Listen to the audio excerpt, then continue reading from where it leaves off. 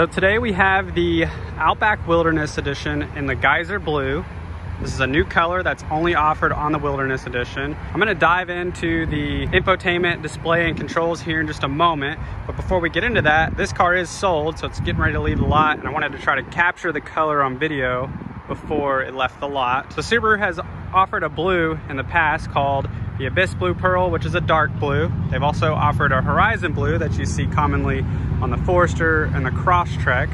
And then the third blue they've offered is the World Rally Blue, which is on the flagship car, the WRX STI. They've had that for many years. And so now they've got this unique color for the Outback Wilderness Edition. So let me know your all's thoughts in the comment section below. Do you like this color? Do you hate it? Is there something that you wish Subaru would do differently with it? If so, there's not anything I could do about it, but still kind of cool to get people's thoughts on it and at least see how people feel about this color. Me personally, I do like it.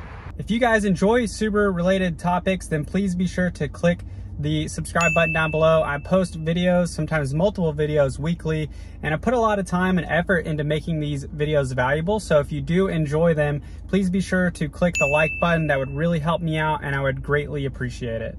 So in this video, I'm going to be doing an overview of all of the buttons and controls on the infotainment display for your Outback. Now, this is going to be in the Wilderness Edition, but it's also going to be very similar and identical in other new model Outbacks as well. So let's start with the easy stuff, and that is the analog buttons. So you've got your hazard lights, you have your volume button and power button. This is your front windshield defrost button your climate control for you and the passenger because it's dual climate. You have the ability to change channels with this dial, and this is your rear windshield defrost and heated side mirrors. Starting at the top of the display, you have these arrows on the left and the right, and that will allow you to toggle through different vehicle information. You can see local weather.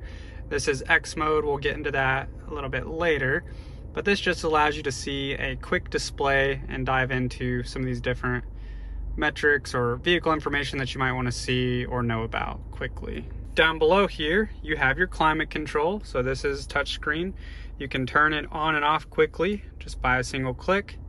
You can adjust your temperature by going in here and using this, or you can use this little dial here, or you can also use this right here, the analog buttons. Now, if you want to sync up your seat with your passenger seat over here, you just click that button. And now whenever I adjust it, you'll see that both of these are increasing and decreasing based on the temperature that I set. You also have heated seats. So you have three settings for you and your passenger. So you can do that here as well. You have quick buttons for your fan speed you also have, if you click on this right here, the ability to adjust your fan speed here, and you can change the vent position right here. If you click on max AC, that's gonna turn the air conditioning on full blast. If you have it on auto, the fan speed is gonna go based on the temperature that you have set and the temperature that is actually inside the car.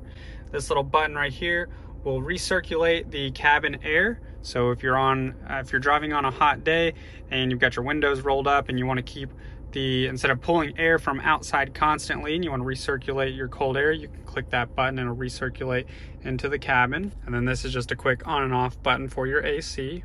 Right here, this is your auto start stop feature. So if you want to quickly be able to turn that on and off, you can do so right here the auto start stop feature that will shut your car off whenever you come to a complete stop. And it does that to increase your fuel efficiency and decrease the emissions that are being put out into the environment. Over here, you have driver profiles. So if you select this and you connect your device wirelessly and you put your name in here,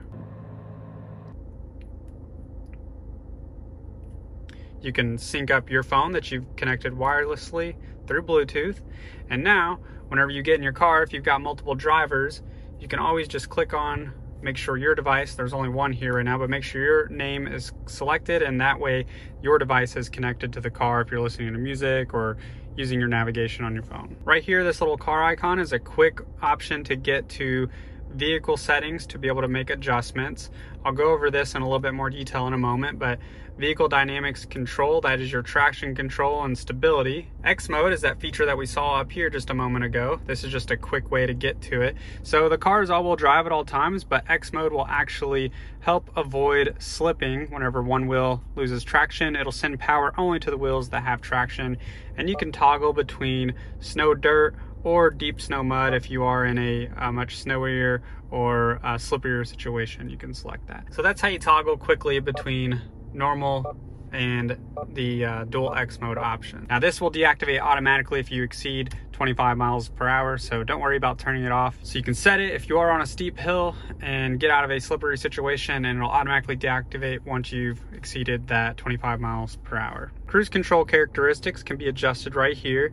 And basically what this does is whenever your cruise control is set, say at 50 miles an hour, and the car in front of you had slowed down to maybe 40, well, whenever they get out of the way and your car wants to speed back up, it's gonna speed back up at a certain acceleration. So for example, if you have it set at standard or dynamic, it's gonna speed up much quicker once that slow car gets out of the way. Or if you do eco or comfort, it's gonna gradually speed back up to the speed that you originally set, which is 50 miles an hour. Auto vehicle hold, this can be turned on and off. And what that does is it allows you to sit at a light. You'll see where it turns on over here. It says AVH. It'll allow you to sit at a light, a long train, or even a drive-through lane without having to have your foot on the brake. So it'll automatically hold the brake for you and uh, that it can be activated right here and can easily be turned on and off. Steering responsive headlights, pretty self-explanatory, but the headlights will actually move with the steering of your wheel and is really helpful on dark roads. The auto start stop, we've already talked about it, but here's the secondary button to turn it on and off. Under driving assistance, if you go under this one, it's pre-collision braking. So that is the eyesight cameras up here in the left and the right. It will automatically detect objects in front of you, cars and people, and will automatically brake for you. If you ever wanted to turn that off, you can do so here.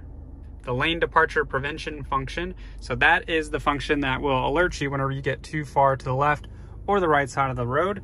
And if you wanted to turn that off altogether, you can do that here. Or if you wanted to adjust the settings to maybe only have a, a, buzzer, audible alert, you can do that there. Or if you want the visible and audible alert, you can click the all functions tab. BSD slash RCTA, this means blind spot detection and rear cross traffic alert. So that is whenever you are backing up and whenever you get close to an object, it will you'll hear a audible alert, but you will also have the reverse automatic braking function here to help you avoid running into somebody when backing up. Under other, you just have your volume settings where you can adjust that and you also have the units. So depending on what country you live in, you can adjust that as well. Going back to our home screen, start up here at the top. We have navigation. So this car in particular has the TomTom navigation, but with all new Subarus, you do have the option, even if it doesn't have TomTom navigation built in, to use Apple CarPlay or Android Auto. So you don't necessarily have to have navigation. This is just a nice added feature. To use the CarPlay, you just plug your phone up to the charge cable here and go to the apps and select on either Apple CarPlay or Android Auto. Got the radio button, pretty self-explanatory. You can use the touchscreen to toggle between different sources. You can also use this button over here to toggle between different sources. So it'll toggle through Bluetooth, CDs, USB. Also, by the way, if you have a CD player in the Outback, you just lift up your center console and you can see if you have a CD player. This one does have it. If yours doesn't have it, you can always get it added as an accessory, but I'll tell you it's not cheap if it's not already in the car. To save your favorite radio stations, you just find the station that you like and you click and hold. And that'll save that station for you. So you can have AM, FM, and Sirius XM stations, your favorites, all down here in the screen below. Media is where you would see your CD if it's in there, or an auxiliary, or even an iPod if you've got it connected. Under phone is where you can connect your phone wirelessly. So if you want to connect your phone, you can do so here and it'll prompt you to add it. You just go to the settings in your phone to uh, look for the Subaru icon and that will allow you to connect to this. It's pretty easy to do. Under apps, we've already selected this, but that's where you can access your CarPlay. Whenever you buy a new Subaru, you can get roadside assistance, and that is where you would get your Subaru Starlink subscription. You can also use the button here to call out to first responders if you ever need roadside assistance. Travel Link will show you things like local gas stations. You can look up sports, stocks. There's a ton of things, local weather, weather alerts, parking, a lot of different stuff that you can look up with that travel link. And then the My Subaru app, this is also a subscription where you can use your mobile phone to have remote start directly from your phone. You can get maintenance notifications and even the ability to set things like your next service appointment. Under car info, you can see different information about driving statistics. If you're on an angle, it'll show you the angle that you're at. Advanced package, you can click on any of these things and it'll tell you more about the different features, the different safety features on the car, like the pre-collision warning, automatic braking, and blind spot monitoring. And then under the maintenance tab, you can actually select things like maybe you want to set up a reminder for your next oil change. You can do so here. So right now it's set to remind you at 5,909. All new Subarus are recommended to get a full synthetic oil change at 6,000 miles. So this is a new vehicle and that's why it's set there. You can also set a specific date if you want. So you can go in and actually set that up manually if you want to do that. We've already discussed the Starlink app and the My Subaru app under the app section. So we will go back over here to settings. And this is where you can really dive down and, and get into more in-depth features that the car has. So we'll start with general. You can do things like changing your clock. You can make it automatically set up to uh, the local area or you can manually do it. So we'll just leave that on auto. Under display, you can change the brightness level, the contrast between the screen, or you can just set it back to default. You can even turn the display off. So if you ever turn your display off, you just click and hold. It'll come back on. Go back into the settings here. And guys, once you have your car and you've used it for a little while, you'll get used to this. I'm sure just like with your smartphone, if you've got one, at first it was a huge learning curve, but over time, things start to become second nature and the things that you find important and need to use, you'll be able to find it quickly on here. You can also connect to Wi-Fi sources. So when you're, you're updating the infotainment display or maybe you want to update your maps, you can connect to a, a, a, wireless router either at home if you're close enough in your garage or even local places. So it'll show you what the Wi-Fi networks are here whenever you're close to them. For example, you click on available Wi-Fi networks and it'll try to find them. So these are the ones that I'm closest to. You can also set up a hotspot through AT&T. So I think you can get like one gig for free. It's really easy to set this up, but this would be if you're traveling and maybe you have an iPad or something that doesn't have cellular data or a laptop and you want to be able to connect to the internet. You can do so here. It's really easy to do.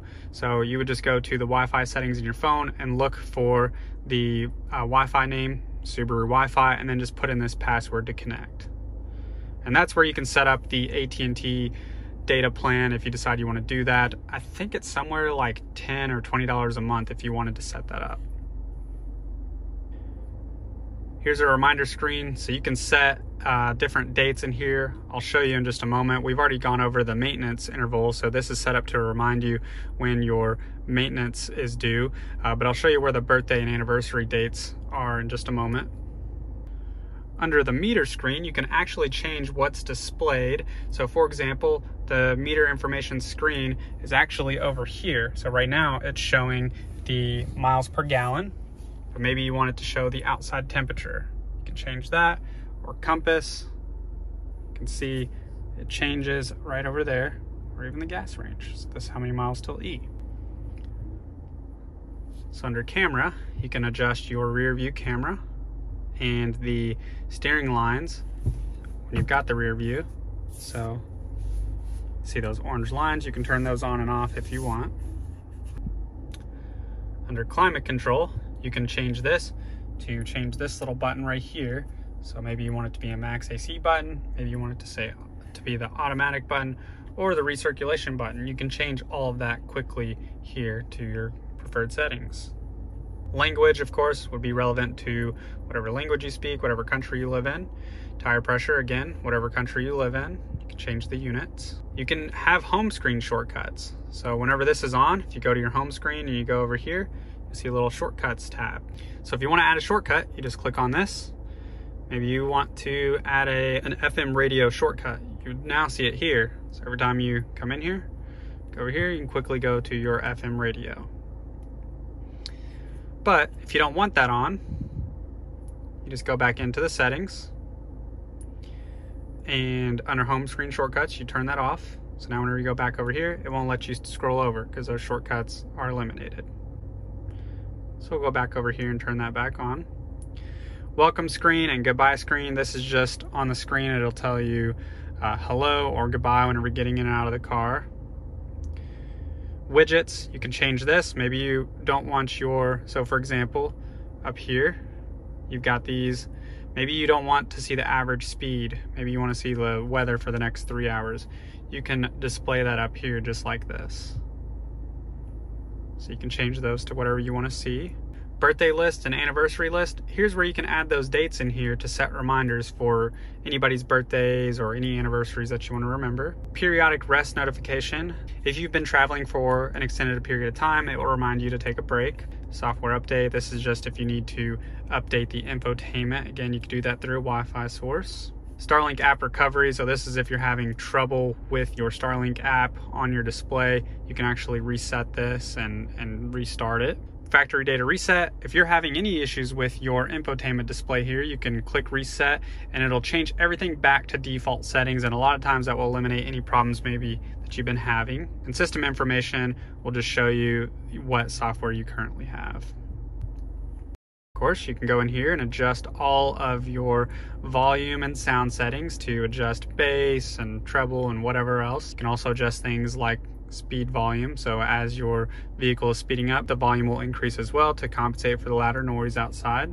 Since your phone's connected through wireless Bluetooth, you can adjust your phone volume controls, not only what you hear, but also what other people hear. Under navigation, just like you can do on Google Maps, TomTom, the navigation in your infotainment display will allow you to adjust different things. For example, you can show different things on the map as you're driving, like local gas stations or point of interest. So you can do that here. You can toggle it on and turn these different things on that you want to be able to see while you're driving. So here again, you can show uh, local parking, gas stations, and rest areas. You can change things like the amount of distance that's displayed on your trip or even the time left on your trip. So there's a ton of different things you can go in here and adjust to your personal preferences, things like avoiding tolls or carpool lanes, unpaved roads, and ferries. If you ever need to update your GPS, you can go here to map update and you'll have to do it most likely through Wi-Fi.